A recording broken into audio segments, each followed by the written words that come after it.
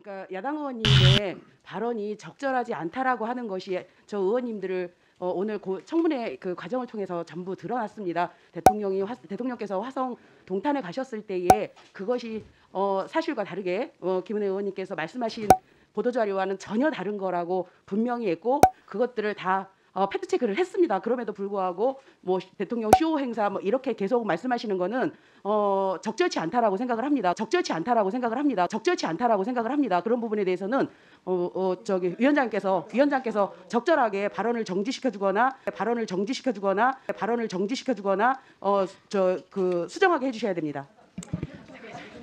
이뭔 개소리야! 네. 아니 이대헬이 아니라 자 김은혜 의원님께 제가 아까 의사진행 발언을 드렸고 그때 충분히 어, 답변을 하셨습니다. 그래서 잠깐만요. 네 네 네. 네. 의- 의원 문정복 의원님 문정복 의원님 잠깐만요. 의원님들 자 의원님 네 네.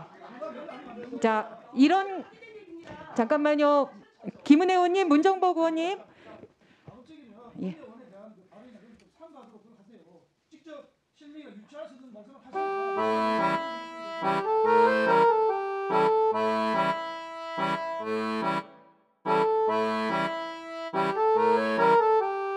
Música